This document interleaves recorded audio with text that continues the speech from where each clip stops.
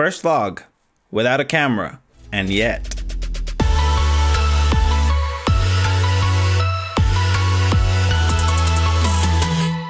Hey you, my name is Eli and welcome to the weekly Wednesday vlog. But before we get into the weekly Wednesday vlog, I want to say hello and welcome to my newest patron. He's a colleague of mine, as in photographer and vlogger. I have never met him, but that is one coffee I'm definitely looking forward to. He does primarily concert photos, but a lot of other awesome stuff, so go and check him out. That officially gets me up to six patrons, whoop whoop, of whom three are active, but that's a story for another day. So I'm in between cameras and I didn't even borrow one for this vlog, which means I'm shooting on my phone. Now this is a phone that I got last week for the same price that I got the phone before that, but it's four times better. Long story short, I'm experimenting with this camera, kind of putting my money where my mouth is when it comes to, you know, the best camera is the one in your pocket. And I'm going on lately about mobile photography and how it's gotten so good. So it's time to put it to the test. This is the surprise, surprise Xiaomi, because you guys know I love that. It's the Mi A2, something like that. It's the uh, 464 version. I don't even know the specs. I think we should go look those up. So it's got a 20 megapixel camera and capable of shooting 4K.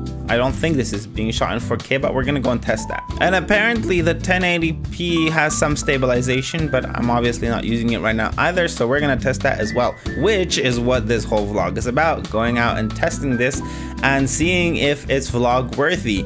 But even before that, I can tell you the answer is yes, because it's not so much about the quality, but if you're using your vlog to tell a story, and yes, you should be using your vlog to tell a story, which means this camera or any other camera you have with you right now is perfect. Anyway, enough blabber. I think we should go for that bike ride somewhere into the woods. So it's got all the functions. It's got full HD in 30p, full HD in 60p. It's got some sort of stabilization. It's even got 4K. But like on most phone, it's just that over sharpened, over saturated, over contrasty look, which to the eye of a photographer may look pretty awful, but again, it tells a story. Well, the front camera and microphone should probably be avoided at all times. And yeah, same goes for low light.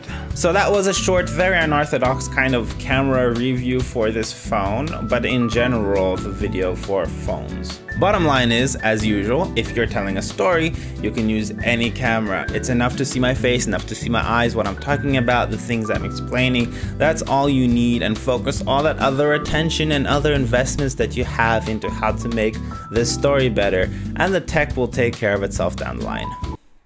I guess. Thank you guys for popping by to watch my video as usual and I'm gonna see you guys next week.